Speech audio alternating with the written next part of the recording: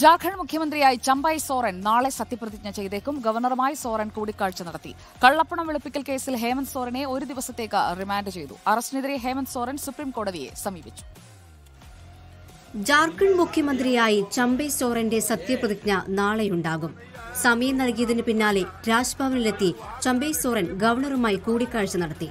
ചമ്പൈ സോറിനെ മുഖ്യമന്ത്രിയാക്കി നിർദ്ദേശിച്ച് ഇന്നലെ M L എമാർ കത്ത് നൽകിയെങ്കിലും പേപ്പർ പരിശോധിക്കട്ടെ എന്ന് മാത്രമായിരുന്നു ഗവർണറുടെ മറുപടി. നാൽപ്പത്തിയേഴ് എം എൽ എമാരുടെ പിന്തുണ മഹാസഖ്യം അവകാശപ്പെടുന്നുണ്ടെങ്കിലും നാൽപ്പത്തിമൂന്ന് പേരുടെ പിന്തുണ കത്താണ് ഗവർണർക്ക് കൈമാറിയത്.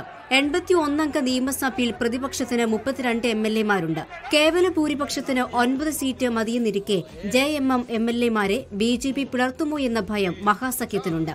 എം എൽ എമാരെ ആവശ്യമെങ്കിൽ ഹൈദരാബാദിലേക്ക് മാറ്റാനും ആലോചന നടക്കുന്നുണ്ട്. ഇ ഡി അറസ്റ്റ് ചെയ്ത മുൻ മുഖ്യമന്ത്രി ഹേമന്ത് സോറനെ വെള്ളിയാഴ്ച വരെ ജുഡീഷ്യൽ കസ്റ്റഡിയിൽ വിട്ടു. പത്ത് ദിവസത്തെ കസ്റ്റഡി ഇ ഡി ആവശ്യപ്പെട്ടു. കേസ് നാളെ വീണ്ടും രാഞ്ചി പ്രത്യേക കോടതി പരിഗണിക്കും. അറസ്റ്റിനെതിരെ ഹേമന്ത് സോറൻ നൽകിയ ഹർജിയിൽ സുപ്രീം കോടതി നാളെ വാദം കേൾക്കും. റിപ്പോർട്ടർ ദില്ലി.